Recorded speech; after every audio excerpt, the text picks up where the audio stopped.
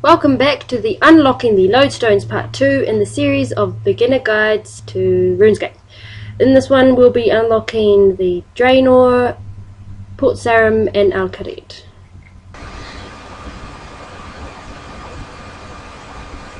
That's if the um, computer doesn't lag. Okay. Just running through Falador.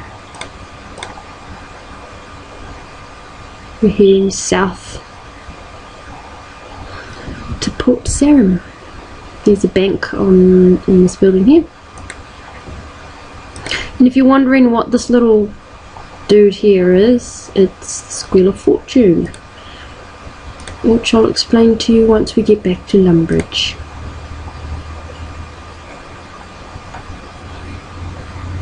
Now, I don't know about other people, but my computer always seems to lag whenever I go into Port Sarim or Al Kharid. So be prepared for a bit of lag. We've also unlocked quite a lot of songs, so what I might do, so here's another musician, let's get our energy up again. You don't need to rest as a musician, you can rest anywhere, but the musician, it uh, restores your run energy faster. That is why it is good to listen uh, to rest at musician points. Let's continue on. Okay, hopefully we don't lag.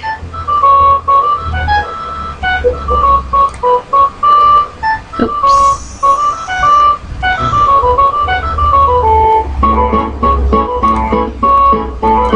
resting. Okay, here we have the lodestone.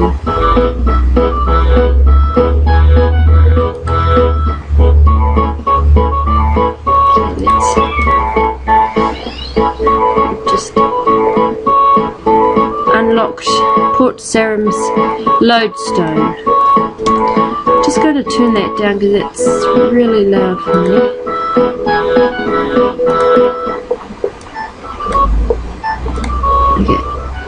Now we're going to head um,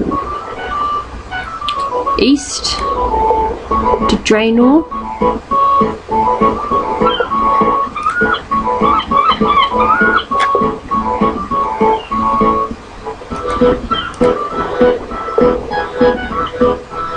He's a pirate.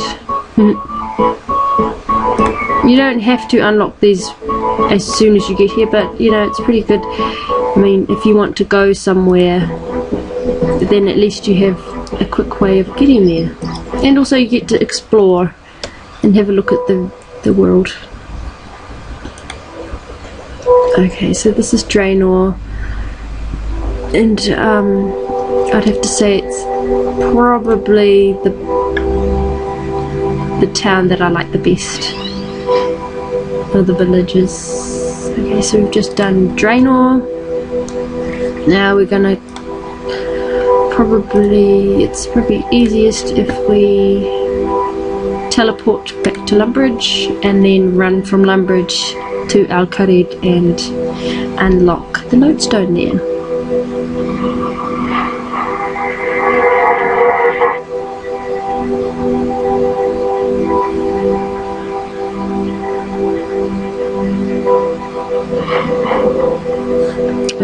So we're going to cross the bridge. Oops, just lagging a bit. Now, brace yourself because I'm sure we're going to be lagged out and this thing's going to be loading for about five minutes or so. So if it does, then I'll just pause it and then we can um, press play. So this is Al Kharid. This is probably the second best, well,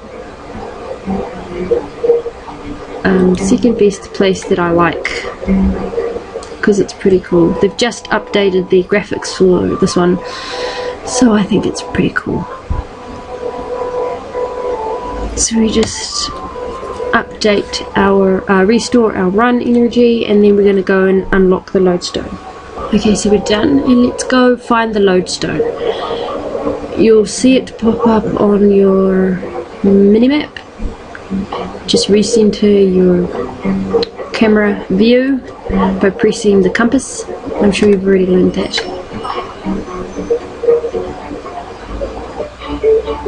And then click to where it is, hopefully. So now we've unlocked all of the lodestones in the free-to-play world.